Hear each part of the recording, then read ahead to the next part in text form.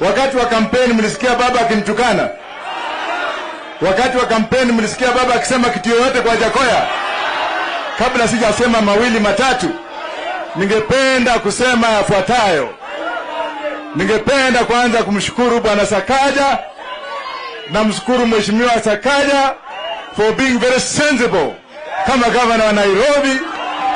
Yeye mwenyewe ametoka akasema ya kwamba yeye ni gavana wa Wakenya wote, na alisema kwamba watu wako huru kulingana na katiba. Ya pili, bwana Sifuna, mheshimiwa Sifuna, as we prepare you, as we prepare you for the future of Nairobi, ningependa kusema kwamba asante. Alafu nikija kwa mheshimiwa Raila, Raila tena ya mwisho, I am here because of Raila. I live today because of Raila.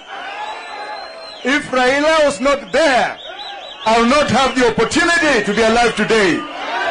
Raila and James Orengo saved my life. Kama hamjui mtajua leo. Baba saved me. Ni- Niongee kidogo ama? Baba saved me wakati nilikuwa na wawa na ile serikali ya wakatili. Ni baba aliyefanya kazi kubwa sana na ni, niseme nisiseme, baba na ubalozi wa Marekani, yule mtu anaitwa Smith Hempston, they are the ones who rescue, rescued me from this country, wakanipeleka ng'ambo. Wakati ya mauaji ya daktari huko na mi naona saa imeyoyoma. Madam mata Karua, tunakupenda sana.